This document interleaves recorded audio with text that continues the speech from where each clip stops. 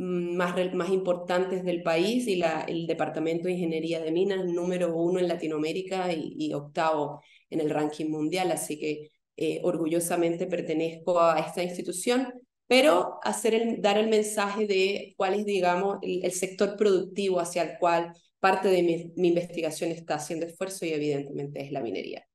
Bien, estamos acá para hablar de eh, materiales avanzados. Sin embargo, nosotros desde esta línea de investigación que intentamos impulsar hay un factor común y ese factor común es agua. ¿Cómo podemos abastecernos como, eh, calidad de vida, pero también cómo podemos abastecer a nuestros sectores productivos eh, de este vital recurso frente a una realidad local y mundial respecto a la escasez a la cual nos enfrentamos. Y basta ver eh, lo que es el análisis del WRI respecto a la escasez de agua actual y prevista para el futuro y podemos observar cómo cerca de 30 países, más de 30 países a nivel mundial se encuentran dentro de los cuales eh, tienen un nivel extremadamente alto de estrés hídrico con proyecciones realmente eh, devastadoras respecto al futuro podemos resaltar África, Asia, pero en Sudamérica, aquí estamos nuevamente, eh, el país hermoso que les acabo de describir, se encuentra dentro de esos 37 países mayormente afectados por el recurso agua y con severas limitaciones y proyecciones hacia el futuro. Basta con ver este mapa de la Fundación Chile que demuestra cómo eh, en, ese, en esa característica geográfica que les describí hace un segundo, hay una heterogeneidad respecto al acceso al agua, con una zona sur mucho más enriquecida respecto al norte, pero la particularidad del norte, que eh, centro y norte, que es donde se encuentran las principales regiones mineras de este país. Por lo tanto, hay un sector productivo que, que, demanda agua, pero que está limitado en su acceso a ella no solo por la eh, disponibilidad de agua actual, sino frente a las proyecciones eh, respecto al cambio climático. Destacar que la minería para, para este país no es la actividad que mayor consume agua respecto a otras como la agricultura, pero el hecho de estar geográficamente ubicada en zonas donde la disponibilidad es un tema, hace pensar a la minería eh, la necesidad de estrategias de abastecimiento. Y es allí donde mi trabajo de investigación se centra mi grupo de investigación es el Laboratorio de Materiales Avanzados para una Minería Sustentable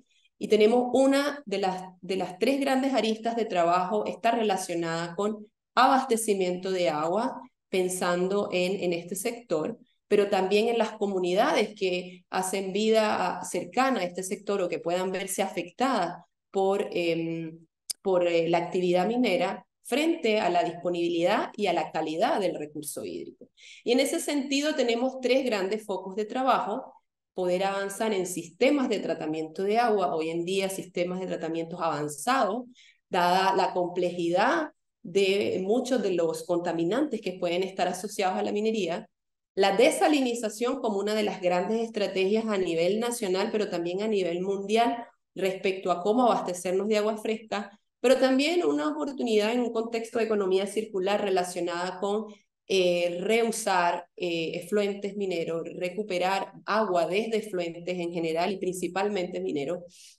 como una oportunidad de valorizar a los residuos. Y en este caso me refiero principalmente a los residuos.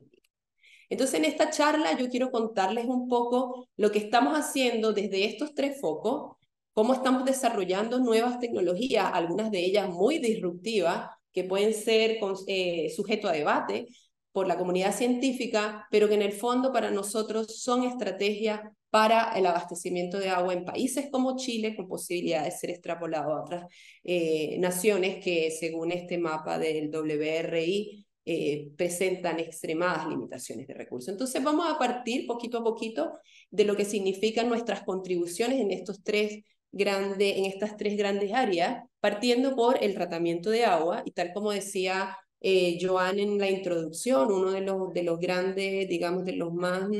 eh, amados desarrollos por parte de mi grupo de investigación está relacionado con un sistema para remover un elemento de altísima toxicidad reconocido a nivel mundial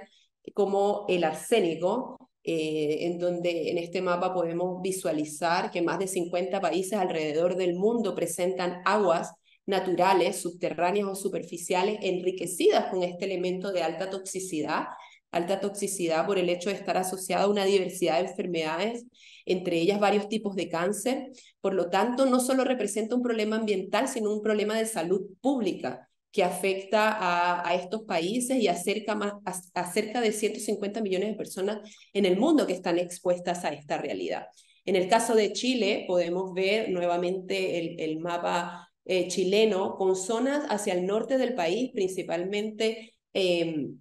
vinculadas al sector minero, en donde las concentraciones de arsénico pueden ser significativamente altas. Para darles una referencia, según la OMS, el máximo permitido para el consumo de agua de arsénico es no más de 10 ppb o 10 microgramos litros de este elemento, y en Chile podemos tener zonas con hasta 10.000 ppb de este elemento tóxico. Por lo tanto, se convierte en uno de los mayores pasivos ambientales, pero también de salud pública, entendiendo que eh, frente a la escasez del recurso, agua fresca enriquecida con este elemento limita su posibilidad de eh, consumo, principalmente como agua potable. Comentar también, porque seguramente en la audiencia hay eh, ciencia eh, actual que va en función de, de, desarrollar tecnologías para la remoción de este elemento de alta toxicidad, que pasa incluso por el uso de membrana, resinas de intercambio iónico, sistemas de absorción, procesos de coagulación, floculación, la fitorremediación y los procesos de oxidación. Pero hay que mencionar que en ambientes acuáticos podemos tener la presencia tanto de arsénico 3 como de arsénico 5 y en muchos casos para poder alcanzar estándares de agua potable se requieren sistemas en serie, sistemas consecutivos para lograr remover ambas especies. Entonces, en general, para nosotros hemos reconocido que los sistemas actuales pueden tener, eh, digamos, cierta complejidad a nivel de operar, pueden ser insuficientes cuando tengo la presencia de ambas especies, pueden llegar a ser costosas, sobre todo en términos de consumo de energía. Hay una eh, poca claridad respecto a lo que significarían los desechos asociados al tratamiento, principalmente desechos que puedan aún contener residuo arsenical. Pero lo más importante para nosotros, tal como lo decía eh, Joan en la introducción, está relacionado con la posibilidad de implementar estos sistemas de ojalá de fácil, de fácil operación, de bajo costo y suficiente para alcanzar estándar de agua potable en zonas rurales. Y para ello me detengo con una pequeña em, comparación de lo que significaría un sistema de potabilización actual, lograr los estándares de agua potable. Por ejemplo, en Chile, un sistema de potabilización que implique alcanzar estos 10 ppb o 0,01 ppm de arsénico implicaría la combinación de tres procesos, absorción, membrana e intercambio iónico, con las ventajas y desventajas que cada uno de estos procesos pudiera tener.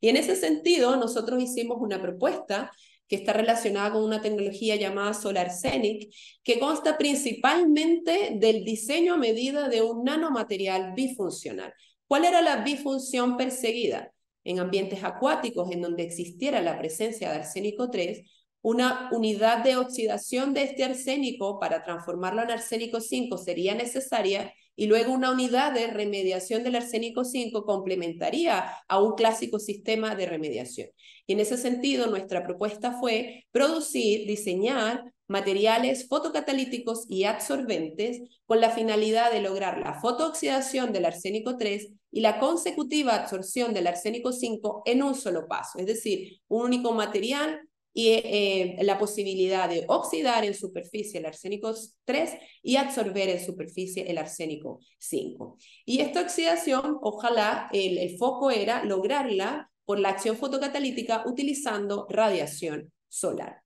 En ese sentido, durante largo tiempo hemos trabajado en el diseño de nanomateriales, y aquí me refiero principalmente a semiconductores fotoactivos, pero también con posibilidad de generar propiedades superficiales ad hoc para hacerlo absorbente, em, basados principalmente en dióxido de titanio. Y cuando hablo de control de propiedades, hablo trabajar una escala, a una escala nanométrica, poder controlar el rango de absorción en un, en un rango UV visible con la finalidad de que pudiera promoverse el efecto fotocatalítico bajo luz solar además de área superficial y química superficial ad hoc al proceso de absorción. Y allí empiezo a dejar algunas de nuestras referencias de todo lo que ha sido el trabajo eh, hoy en día eh, con, propiedad intelectual eh, detrás, que significa la, adaptación de las propiedades de este tipo de nanomateriales. Nosotros comenzamos de manera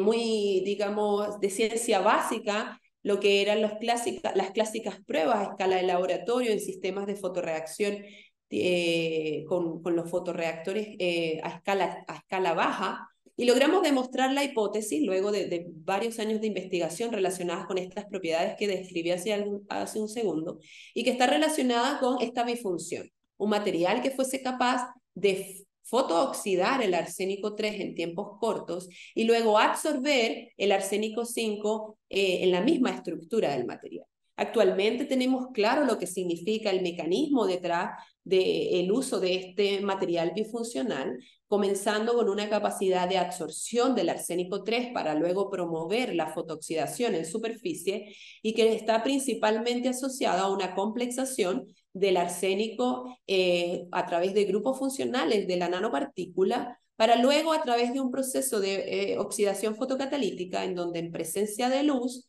electrones de la banda de valencia de este semiconductor hacia la banda de, eh, de la banda de valencia a la banda de conducción promoverían la generación de especies radicales que fueran las responsables de oxidar el arsénico 3, arsénico 5, y como consecuencia, una etapa de absorción, nuevamente el material a través de sus grupos funcionales fuese capaz de eh, eh, interactuar con esta especie de arsénico 5 eh, encapsulándola en su estructura. Entonces, a la fecha, eh, para, este, para este entonces teníamos claridad de lo que eran las propiedades del material y la hipótesis validada respecto a la bifunción.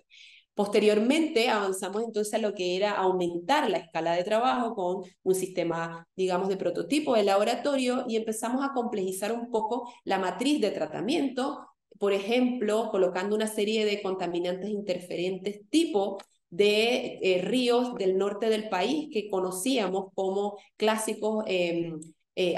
clásicamente afectadas por, por la contaminación de arsénico. Y logramos demostrar que la hipótesis se mantiene en presencia de aguas químicamente más complejas. El material mantenía su bifunción, logrando la oxidación y la absorción en un solo paso optimización de muchas variables relacionadas a la cantidad de material, a la necesidad incluso de acidificar el medio con la finalidad de promover más grupos funcionales a la, al proceso de absorción, fueron parte de, las, eh, de los esfuerzos de optimización del sistema antes de llegar a esto, a la validación en un entorno real, utilizando ya derechamente un piloto de mayor escala. Y este piloto hoy en día se encuentra instalado en el norte del país, efectivamente validado en su capacidad de remover arsénico, alcanzando estándar de agua potable, utilizando aguas reales, con una capacidad de tratamiento que aunque dista de ser una planta de potabilización rural, al menos nos permitió validar la em, escalabilidad de este desarrollo. Además de que lo consideramos de baja complejidad operativa, porque vale destacar que en este caso lo único que contamos es con un tanque de agitación en donde podemos, ponemos en contacto en polvo el nanomaterial bifuncional con la solución contaminante para promover el proceso de absorción y una unidad de irradiación, que en este caso ha sido principalmente con luz artificial por ahora,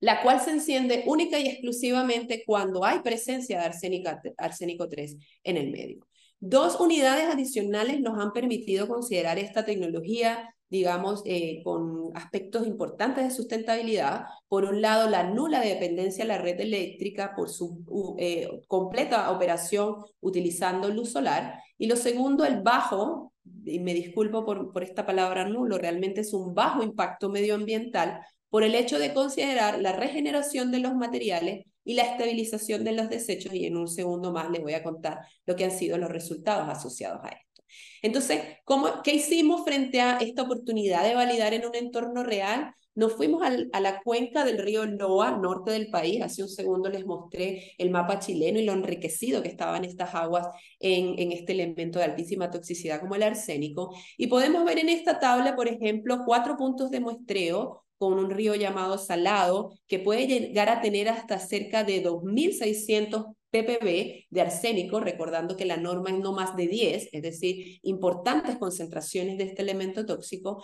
frente a otros como el Lazana, que puede tener cerca de 200 ppb, pero con la particularidad de que el Lazana contaba con arsénico 3, eh, eh, y un mix de arsénico 3 y arsénico 5. En este caso, la necesidad de fotooxidación era evidente. Entonces, lo que logramos demostrar es que en un entorno real, independientemente de la concentración inicial, partiendo incluso en el salado con cerca de 2.600 ppb, independientemente de la necesidad de irradiar o no por el hecho de tener arsénico 3,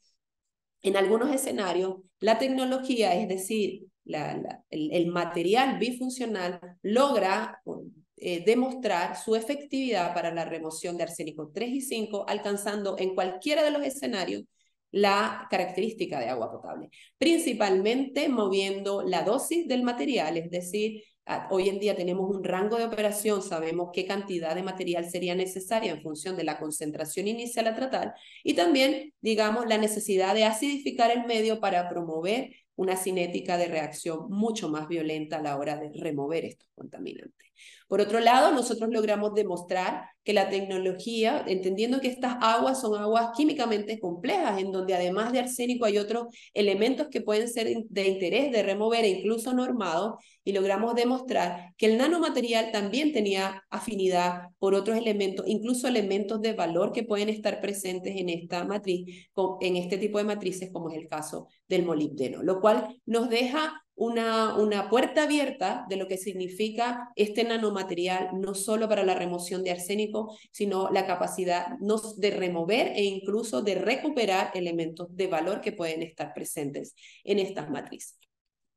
Por otro lado, una gran pregunta que nos hace la industria constantemente es, ¿y después del proceso qué? ¿Qué pasa con las nanopartículas? ¿Cómo las podemos separar? ¿Cómo las podemos eh, recuperar? Y nosotros hemos hecho un trabajo importante respecto a lo que es la separación y reuso del nanomaterial. Actualmente tenemos a escala de laboratorio un sistema de separación por membrana en donde hemos efectivamente logrado recuperar sobre el 85% del material utilizado en el sistema y hemos hecho pruebas de reuso en ciclos consecutivos desde matrices como las aguas del salado, que son eh, no solamente químicamente complejas, sino que pueden llegar a tener hasta cerca de 2.000 ppb de arsénico, y hemos logrado demostrar que el nanomaterial puede ser utilizado hasta en cuatro ciclos consecutivos, manteniendo la efectividad de lograr estándar de agua potable, es decir, podríamos tener la oportunidad de reusarlo cinco veces manteniendo la efectividad y por encima del, del quinto ciclo, en aguas bien complejas como las del salado, podemos incluso alcanzar normas menos estrictas como son las normas de agua para riego, según la norma chilena 1333 que establece no más de 100 ppb de arsénico. Entonces existe una oportunidad de, eh, de mejorar la capacidad de tratamiento de este sistema por ciclos consecutivos.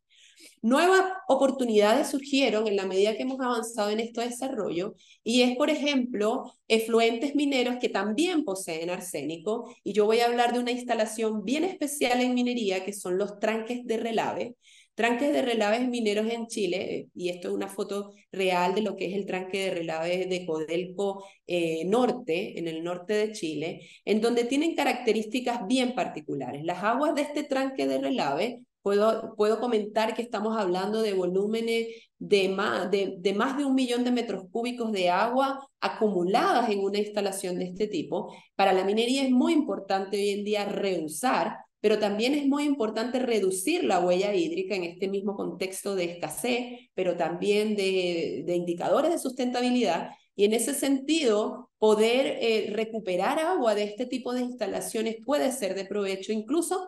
para compartirla con otros sectores. Y aquí aparece, por ejemplo, lo que significa la norma de riego chilena y lo que significa el decreto supremo chileno que permitiría la descarga de agua a, a, un sistema de acuífero. Y en ese caso, las aguas de este tipo de instalaciones pueden ser mucho más complejas de las que de las superficiales de las que hablé hace un segundo, con concentraciones de arsénico hasta de 30 ppm de arsénico, 30.000 ppb de arsénico en comparación con las aguas superficiales, lejos de poder ser utilizadas para regadío y muy lejos de poder ser eh, reinyectadas a acuíferos para reducir huella. En este sentido, para nosotros, Solarsenic era una oportunidad de poder eh, tratar las aguas de las cubetas de relave y logramos demostrar, por ejemplo, con aguas reales de esta instalación de las que les hablé hace un, segundo, pudimos demostrar que SolarSenic es capaz, o la nanopartícula asociada a SolarSenic, es capaz de remover sobre el 90% del arsénico y sobre el 99% del molibdeno, que incluso pueden estar presentes en estas aguas. Por lo tanto, se genera una oportunidad de recuperación importante de agua, y aquí les muestro algunas de las cinéticas de remoción, en donde la dosis del material también ha sido parte de los esfuerzos de optimización para poder decir, es posible utilizar nanotecnología, es posible utilizar este tipo de nanomateriales para remover arsénico y nuevamente valorizar aguas eh, mineras, como es el caso de la recuperación de molibdeno desde este tipo de matrices. Pero para nosotros es una realidad reconocer que SolarSenic no es una solución absoluta para lo que es de tratamiento de agua. Por ejemplo, eh, nosotros hemos reconocido por ejemplo, que en una matriz tan compleja como las aguas de un efluente minero, además de arsénico, pueden haber otros elementos que están normados y que merecen ser atendidos si quisiéramos utilizar estas aguas para regadío, por ejemplo. Y en ese sentido, hoy en día SolarSenic es parte de un sistema integrado combinando eh, esta tecnología con algunos desarrollos de nuestro, pero que también están en la literatura relacionados con sistemas de nanofiltración que estarían pensados básicamente para la remoción del sulfato y eh, sistemas como bioreactores que también han sido validados por nuestro grupo para la remoción de sulfato. Entonces, en este caso, una, una combinación eh, eh, integrando a, a nanotecnología con sistemas de separación de membrana,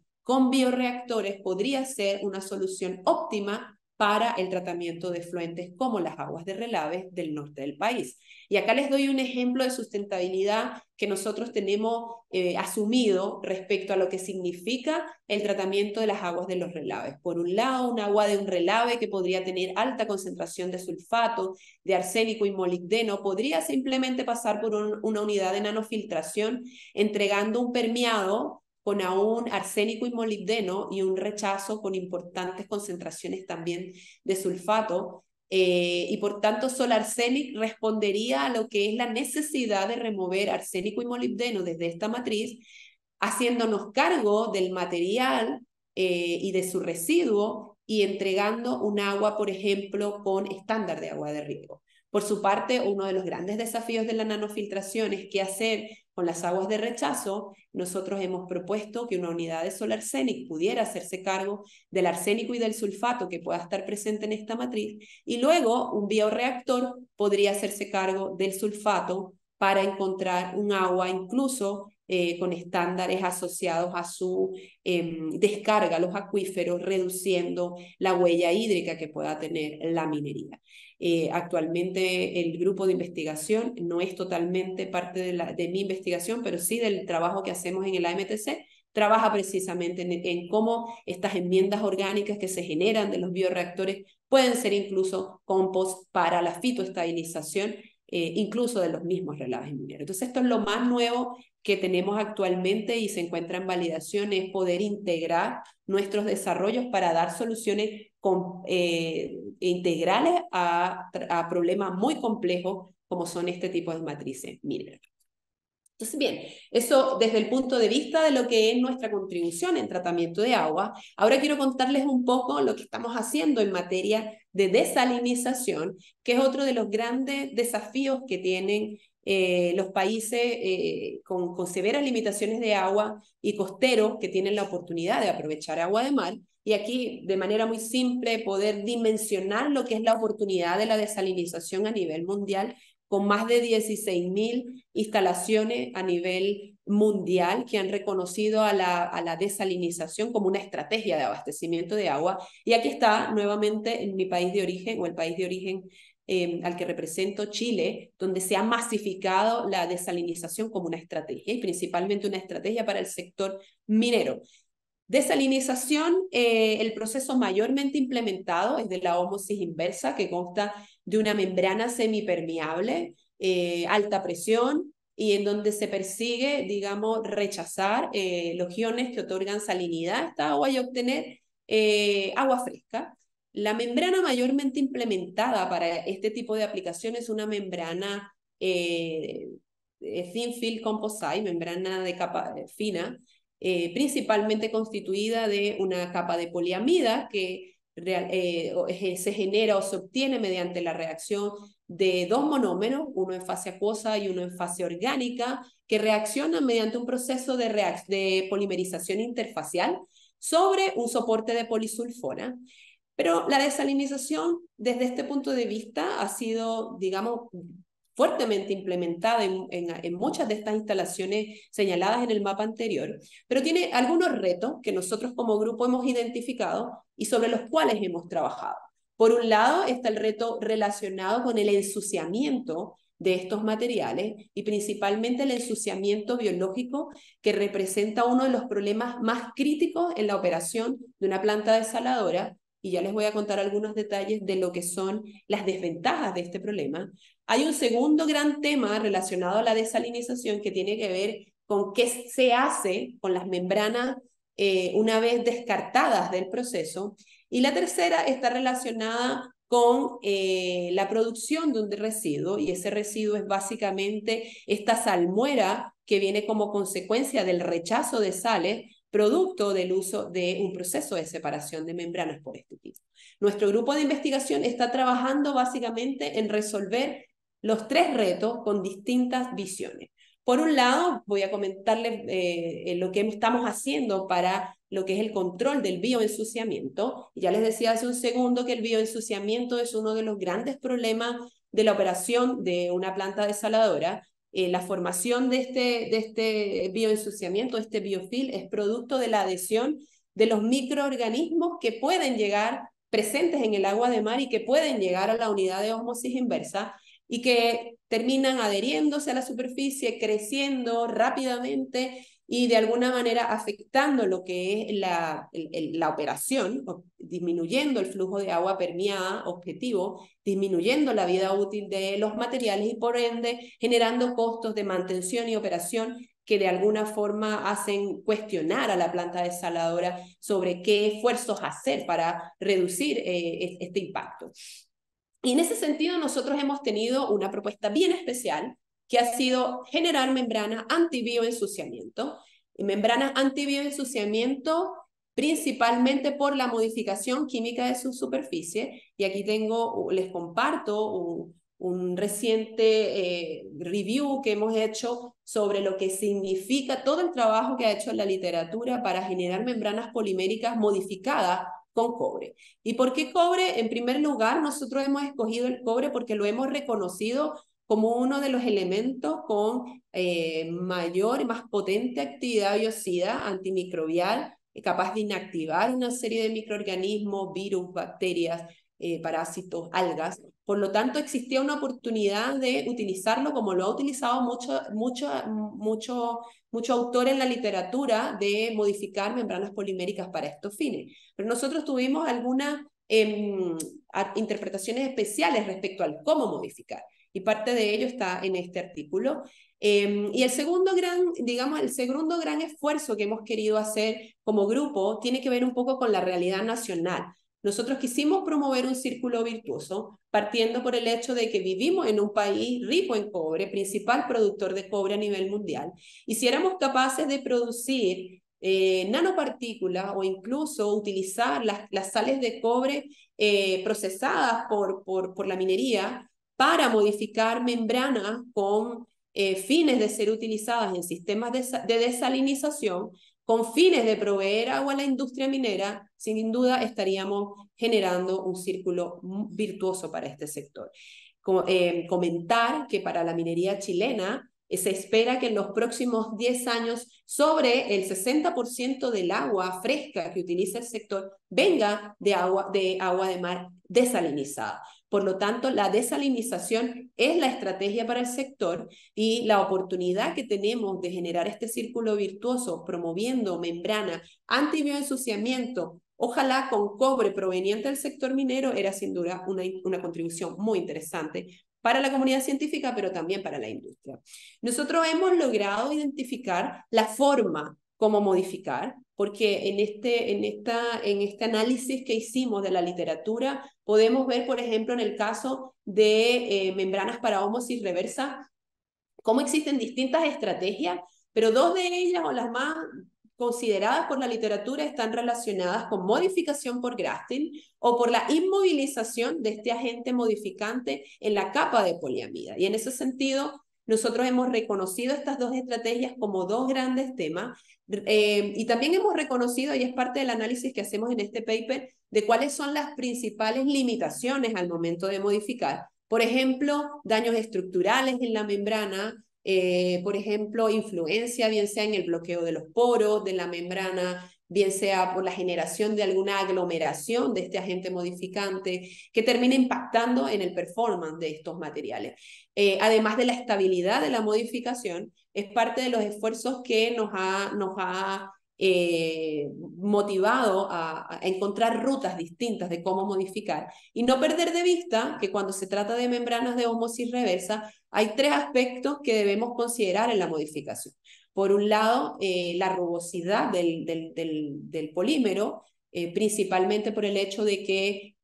si nosotros, por, por efecto de la modificación, eh, generamos eh, perjuicio en la rugosidad, podríamos estar generando nichos en donde eh, los microorganismos puedan adherirse, afectando definitivamente el efecto perseguido, que es evitar la adhesión. Por otro lado, la hidrofilicidad, entendiendo que estamos hablando de membrana hidrofílica para promover el permeado de agua, por lo tanto, cualquier esfuerzo de modificación debería tener control sobre eh, el no impacto a esta propiedad y por otro lado la carga superficial del polímero por el hecho de que eh, la mayoría de los Fowlands que pueden querer eh, pretender adherirse a esta superficie son negativos, así que deberíamos promover un control en lo que es la carga superficial. Entonces nosotros hemos trabajado arduamente en el cómo modificar nuestro primer nuestro primer gran esfuerzo fue modificación con cobre y hemos establecido tres rutas. La primera relacionada con la incorporación de nanopartículas y estas nanopartículas podían ser cobre elemental o óxido de cobre durante el proceso de polimerización interfacial. Hace un segundo les comenté que eh, la poliamida que se hace crecer sobre este soporte de polisulfona eh, viene, proviene de la reacción de dos monómeros. Nosotros incorporamos la nanopartícula en uno de esos monómeros con la finalidad de que quedara embebida en la capa activa de este, de este polímero. Por su parte, generamos una segunda ruta de modificación que era la adición de una sal de cobre y esa sal de cobre hoy en día perseguimos que sea sal de cobre minera durante el proceso de polimerización interfacial y lo que promovíamos era incorporarlo también en uno de los monómeros para hacer crecer oligómenos de cobre en la superficie y la tercera estaba relacionada con la incorporación de nanopartículas coloidales durante un proceso de interacción por grafting entre la solución coloidal y el polímero.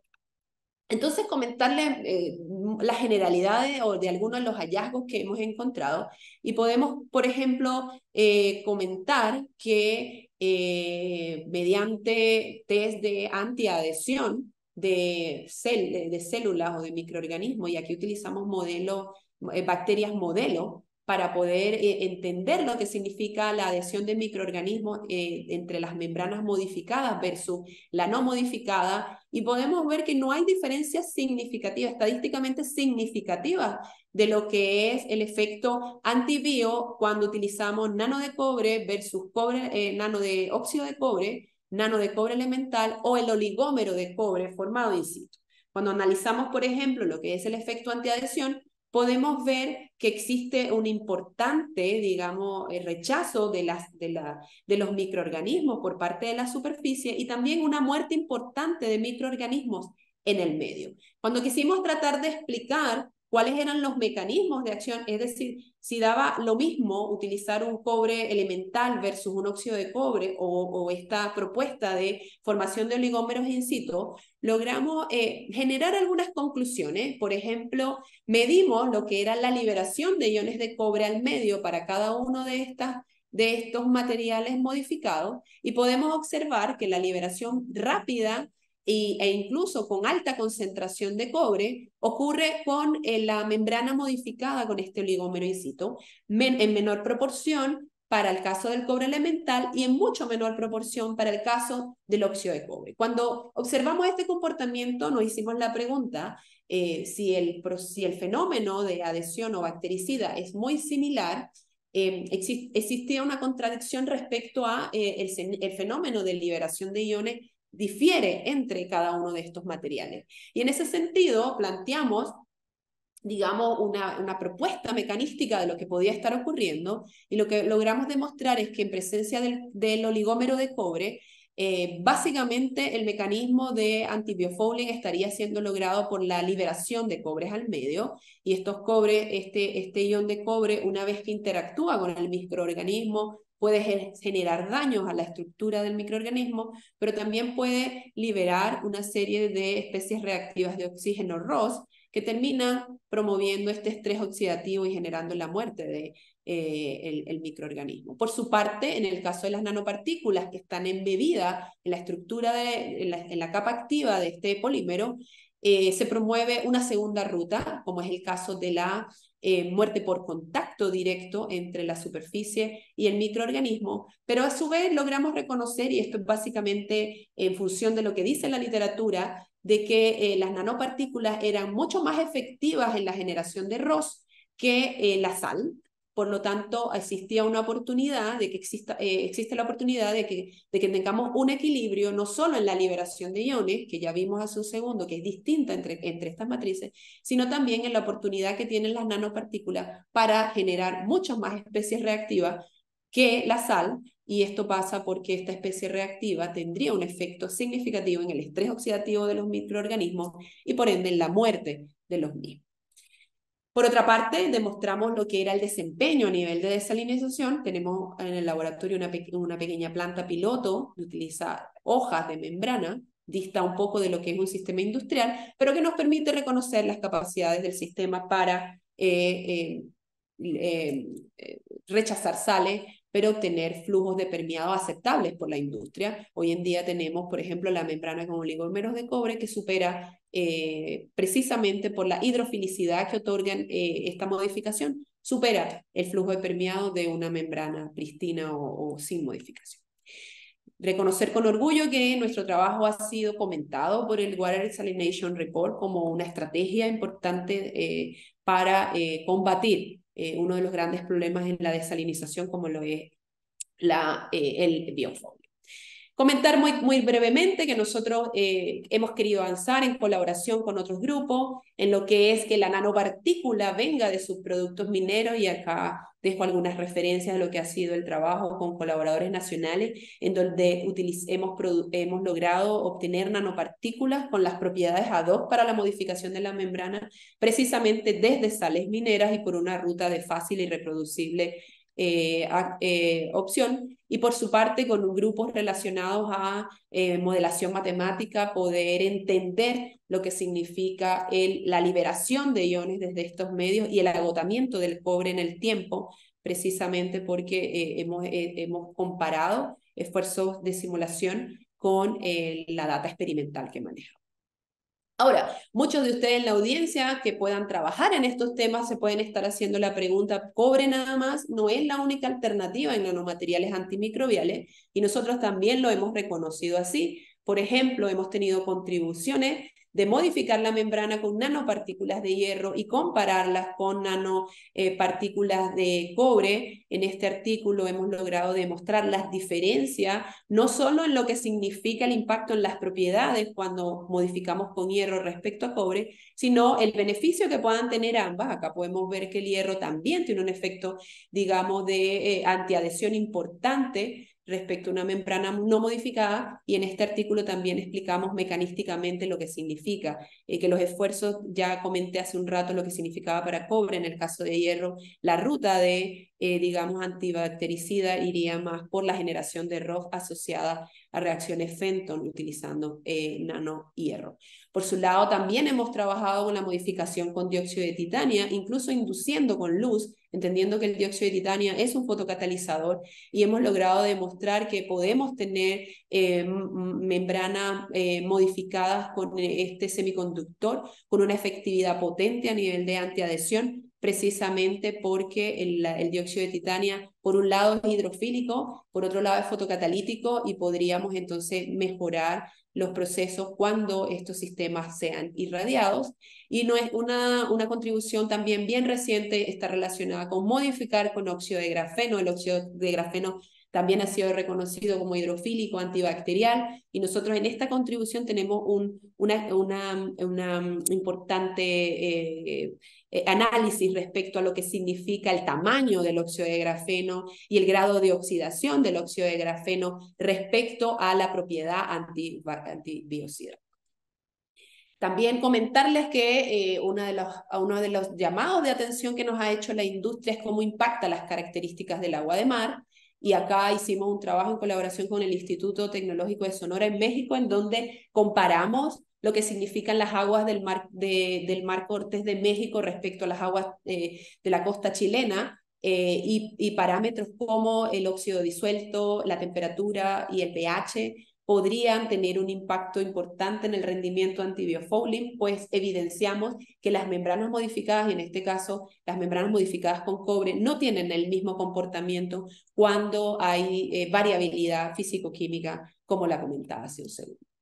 Por otro lado, desde el punto de vista de las membranas, eh, del manejo de membranas de descarte, que es otro de los grandes temas que tiene la, la planta de la desaladora eh, a nivel global,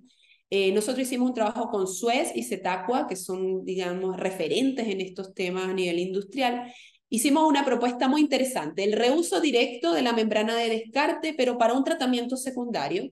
Eh, qué oportunidad teníamos de utilizar una membrana descartada de, de, la, de una planta real para tratar aguas residuales domésticas y acá podemos ver cómo podemos tener una efectividad en un largo tiempo de operación con flujos estables, deseables por la industria y la oportunidad de rechazar, por ejemplo, estas son aguas residuales que pueden tener coliformes fecales eh, con incluso sobre norma para una, para una oportunidad de reaprovechamiento. Y en este trabajo pues logramos demostrar la efectividad de encontrar agua de permeado eh, producto del uso de estas membranas en un segundo ciclo sin ningún tipo de tratamiento de, digamos, de limpieza a lo que era la membrana esta. Y esta es una contribución muy importante para la industria porque abre la oportunidad de reusar materiales.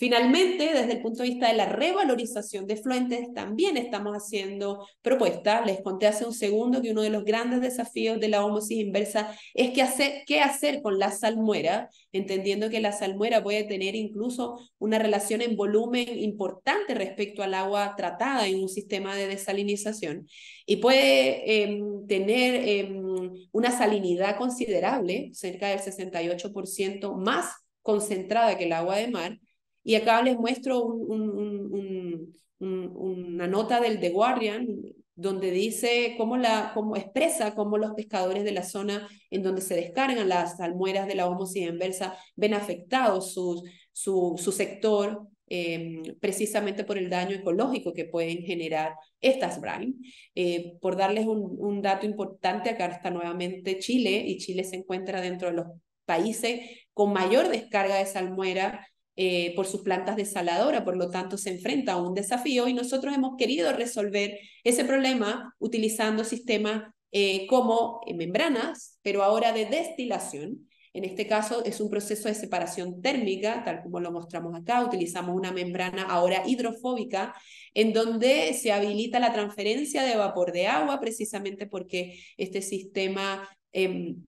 tiene una diferencia de temperatura importante que promueve una diferencia de presión de vapor que permite entonces el paso de vapor de agua y su posterior condensación como agua fresca en esta unidad. Y la gran, el gran desafío de la comunidad científica es cómo obtener membranas que sean anti-wetting, es decir, que eviten la humectación del poro, porque uno de los grandes temas en el rendimiento de estos procesos es que si el poro se humecta, perdemos esta condición de hidrofobicidad además de hacer las anti-ensuciamiento, que es parte de los desafíos que hemos venido trabajando, y acá hacer mención al, al Instituto eh, Tecnológico de Membrana en Italia, que son, digamos, de los grandes referentes en membrane distillation, y nosotros hemos hecho propuestas como, por ejemplo, la modificación superficial, ojo, ahora estamos hablando de membranas hidrofóbicas, como eh, PP, PBDF y PETFE, y acá podemos ver en este artículo cómo eh, eh, mediante una estrategia de silanización de la superficie logramos incrementar el ángulo de contacto de estos materiales, por lo tanto mejoramos la hidrofobicidad del sistema con un impacto importante en lo que es el flujo de, digamos, de recuperación, el porcentaje de recuperación de agua, utilizando brines desde, la, eh, desde brines características a los sistemas de desalación. Entonces aquí tenemos una contribución, es de las cosas más nuevas que estamos haciendo, pero que nos abre una oportunidad a lo que es el aprovechamiento o la recuperación de agua desde salmuera y estamos generando modificaciones superficiales a las clásicas membranas hidrofóbicas utilizadas en membrane distillation. Por su parte, lo, estamos también promoviendo membrane distillation, pero para recuperación de agua desde drenajes ácido de mina, y acá podemos ver lo que significa un drenaje ácido de mina en materia de parámetros físico-químicos, por ejemplo, pH con hasta dos unidades lo cual lo hace prácticamente imposible de darle eh, aprovechamiento, pero también eh, una serie de parámetros fuera de normas como el sulfato, pero aparecen elementos incluso de valor como el cobre o el hierro que pueden ser eh, valorizados desde este fluente. Y en este caso, también utilizando las propuestas de membrane distillation, tenemos una particularidad de materiales, tenemos la membrana hidrofóbica, pero ahora le estamos incorporando nanoestructuras fototérmicas. Decía hace un segundo que este proceso es un proceso eh, térmico, por lo tanto nosotros necesitamos localizar calor en la superficie de este material. Pérdidas en la transferencia de calor eh, generarían pérdidas en la efectividad de la transferencia del vapor de agua y eso lo estamos tratando de resolver localizando calor por la generación de, o la, eh, la incorporación de nanopartículas fototérmicas sobre la superficie.